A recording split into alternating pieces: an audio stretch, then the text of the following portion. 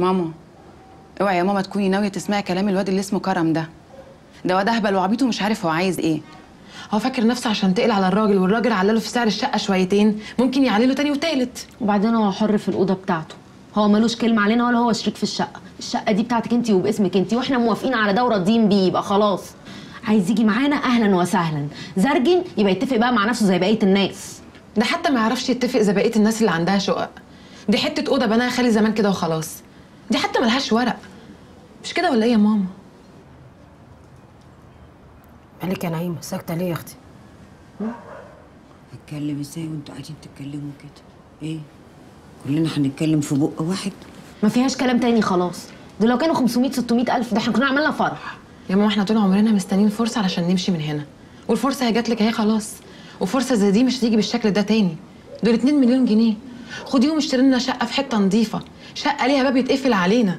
يوم ما نفتح الباب ده نفتحه على طرقة مليانة زرع وأسانسير ومراية.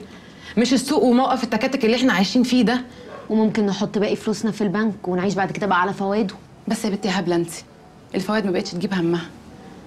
خدي الفلوس يا ماما واعملي مشروع محترم. وفكك من موضوع المخدماتية والهم اللي إحنا عايشين فيه ده. اعملي مشروع الفرن اللي انت كان نفسك فيه. وطبعا انت يا أختي مش هتسيبيني صح؟ هتاخديني معاكي اقف في الفرن. وابطل بقى خدمة في البيوت مش كده؟ هتاخدك معاها يا بت. أمي قلبها طيب ونيتها صافية وما بتنساش حد. عشان كده ربنا كرمها من واسع للدرجة دي أنتوا مش طايقين عيشتكم؟ عايزين تسيبوا الحتة؟ النبي بس ما تقوليش عيشة. طب يلا أنا تعبانة النهارده وعايزة أنام. هو إيه اللي تنامي ده يا ماما؟ انت تكلمي الحاج نور دلوقتي وتخلصي معاه.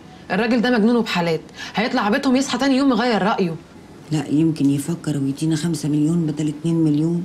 وبدل ما نجيب شقة نجيب شقتين ونعمل فرن ومطعم ومحل عصير. انت بتهزري يا ماما؟ منى كلامها صح. يا أختي الطمع يقل مجامع.